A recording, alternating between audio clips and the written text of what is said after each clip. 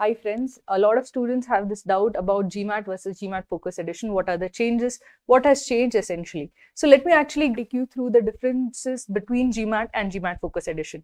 Before I begin, uh, just let me tell you about GMAT Point. So Cracku has gmatpoint.com where we have created a lot of content for GMAT specially focused at the GMAT Focus Edition. Uh, we have 2000 solved questions with video solutions. So if you're looking for uh, a way to prepare for this GMAT Focus Edition, please do visit gmatpoint.com. So let me start with the difference between GMAT and GMAT Focus Edition. So the first thing that you will actually see is that the exam has become more streamlined. They have cut down on the number of sections. So earlier there used to be four sections quant, VARC, integrated reasoning and uh, analytical writing assessment. So instead of four sections now, you have only three sections. So the three sections are quant, VARC and you have a third section which is data insights. It is kind of loosely based on the integrated reasoning, but this is a more fleshed out section. There are more questions in data insights than there were in integrated reasoning. Earlier integrated reasoning was not part of your GMAT score. Your GMAT score was only based on quant and VA. Now your actual GMAT focus edition score is based on all three parts which is quant, VARC and DI. All three are equally weighted and come part as part of your GMAT uh, focus edition score. So essentially now the instead of four sections you have three sections. The length of the test has also become shorter. Earlier it was over three hours. Now it has become 2 hour 15 minutes. So essentially they have streamlined the test as such, removed things that they felt unnecessary and made it smaller and shorter and uh, more focused on what the skills needed are. Now the second uh, change that has happened is that the portion has also gone down. Most importantly, they have removed grammar and sentence correction and they have removed geometry. So if you struggled with grammar and sentence correction in the original GMAT, this will be a very happy news for you because essentially how much you have to prepare has gone down.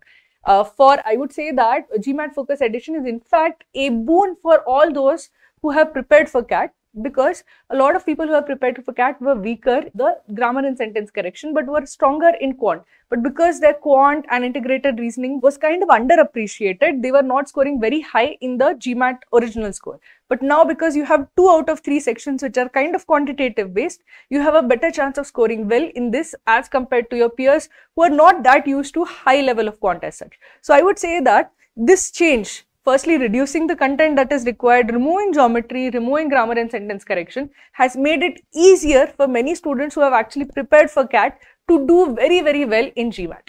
Now, another change that has happened is in the scoring mechanism. As I mentioned earlier, in the original uh, GMAT, only two parts of your four-part exam were actually considered in the final GMAT score that was used. Your uh, analytical writing and integrated reasoning were actually seen by the uh, colleges that you submitted your score to, but they were not part of your GMAT score. So they were not part of the filtering mechanism as such. Here, all three sections have equal weighted. So your DI score is also part of your final GMAT FE score as such. Now you might consider that this is a disadvantage, but it is actually an advantage. Now what has happened? Earlier the GMAT score would range from 200 to 800. 740, 750 was considered a very good score as such. Now over here in GMAT Focus Edition, the scores range from 205 to 805 but anything above 650 or 680 is considered a good score. Now, why has that happened? Why have the average score required gone down? Why are people scoring lower on Focus Edition than they scored in the original GMAT? That is because Data Insights has uh, played a role in lowering the overall score that is needed. It has uh, increased the difficulty of the exam, especially for those who are not uh, very, very good at quant. And in terms of Indian students versus international students, Indian students historically did very well in the quantitative section, did very well in the integrated reasoning section. They did poorly than the international students in many parts of the OG exam, especially grammar and sentence correction. So now since two parts of the exam are quantitative, you have an advantage and in fact there's a very good chance that you will score better in the focus edition than you did in the OG. For me particularly the highest score that I got in OG was 770 and I scored 785 in the focus edition because again for me, quant and data insights were actually strengths. They were not weaknesses. So my score didn't actually go down. It went up because I could do better in these two sections. So for a lot of people who are actually uh, preparing for CAT, I would say that this is something that is to your advantage. These are changes that are positive for you. Now, one more thing that uh, is changed is how, how the scoring occurs. So, I said that uh, the scoring is between 205 to 805 and 690, 680 is a very good score as such. Now, what I would suggest is that the individual scores are also changing. So, earlier your score would be 1 to 60, 1 to 60 uh, for like quant, 1 to 60 for uh, 1 to 8 for integrated reasoning and uh, 1 to uh, 0 to 6 for the analytical writing. So, that part has been removed completely. Now for all the three sections, your score varies between 60 to 90. So you would say the granularity is lesser. 60 to 90 is only a 30 point range. But I see that the granularity is actually better in terms of distinguishing between students who are not good at quant versus those who are very good at quant. So the granularity earlier basically if you are very good at quant you would get a uh, 60 on 60 or a 58 on 60 or a 59 on 60. If you were not so good, you would get a 54 on 60 or 55 on 60. But many people would actually end up with like 40 or 42 on uh, the verbal reasoning part, which would drag down their overall score much lower. Now here what has happened is that here because you have 60 to 90, there is much granularity between students who are scoring well in quant versus students who are scoring well in the verbal reasoning portion versus students how they are scoring the DI portion. So in fact, the granularity I feel has increased in this focus edition, which means that if you're good at quant versus you're very good at quant, there's actually a difference that is visible in the scores as such. So again, I would say this helps you, especially as you're an Indian student who has practiced for CAT, this is an advantage.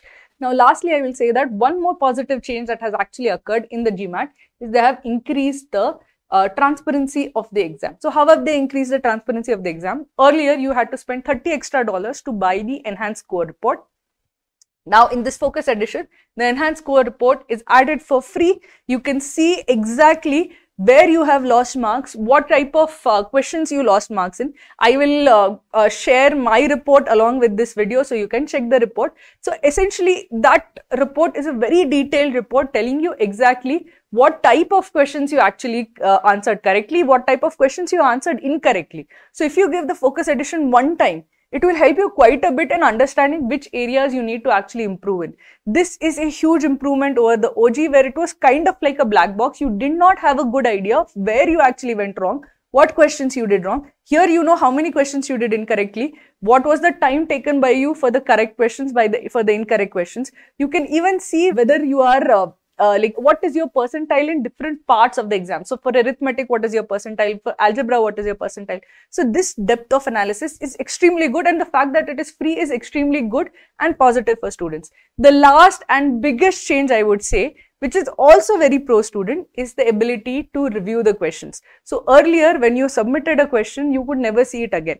Now this has been changed. So at the end of the section, after you have solved all the 21 questions of quant, you will get a, a, chance to actually review the question. So you will see a prompt where you all the 21 questions will be there. You can mark some of the questions for review and you can revisit them later at the end of the section and you can then see the question and say that okay, uh, do I want to change my answer? Uh, I can recalculate, I can try to change my answer as such. So the ability to review the question and change the answer is a huge improvement because now if you are not sure about a particular question, not sure about a particular answer, you can mark it for review try give an answer and move forward. And at the very end of the section you can give it more time to solve the question again and try to get to the correct answer. So again there are so many positive changes which are pro student pro student particularly students who are good at quant and i feel very very pro indian students. So if you are an indian student or a student who is good at quant who is wondering should i give gmat focus edition or not I would highly recommend that you give it because it is something that you are going to do better at than the original edition as such. So with that, uh, I would uh, leave you guys and thank you for tuning in and please do check out gmatpoint.com. We have tons of questions with solution videos and these will help you quite a bit in preparing for your focus edition.